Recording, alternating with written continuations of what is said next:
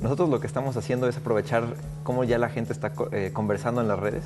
Entonces lo que estamos haciendo son estos pequeños como community boards, donde los ciudadanos puedan interactuar sobre, sobre estos temas, encontrar soluciones y encontrar eh, los problemas primero y luego las soluciones. Y luego llegar con los gobiernos o los tomadores de decisión para que puedan accionar esa información, gestionarla, canalizarla, analizar en tiempo real qué está pasando, en dónde, a qué hora. Entonces de esta manera enfocar muy bien las soluciones de política pública con base en necesidades reales. Estamos tomando el poder de las redes y ya saber que los ciudadanos no pensamos en jerarquía sino en redes y que esto ya cambió completamente las estructuras de poder para que realmente los ciudadanos interactúen mejor con sus instituciones y que las instituciones conozcan mejor a, sus ciudadanos.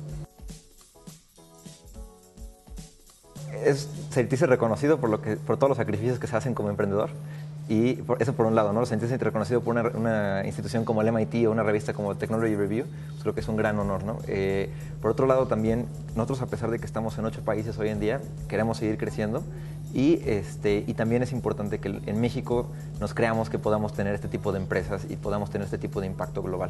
Entonces creo que este tipo de cosas al final lo que tiene que llegar a generar es un pipeline, un pipeline de liderazgo y de emprendedores y de gente que esté innovando y que se esté creyendo que puede lograr y tener ese impacto. ¿no? Y creo que este tipo de sellos, este tipo de reconocimientos son lo que puede inspirar a otras personas. ¿no?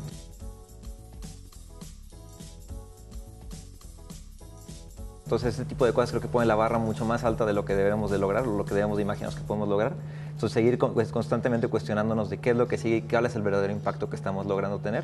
Y también aprovechar, apoyarnos en las redes que ya existen y también para que más gente llegue a formar parte de estas redes. A pesar de que ya estamos en varios países, hoy en día estamos justo en el proceso que nos queremos convertir en una empresa realmente global. Entonces, este, a finales de este año queremos haber consolidado eso y creo que una red como esto puede que cuando lleguemos a un país como, como Yemen o como Benin, entonces ya entiendan perfectamente que no somos improvisados y que ya tenemos cierta experiencia y que, y que está siendo reconocido el trabajo que estamos logrando.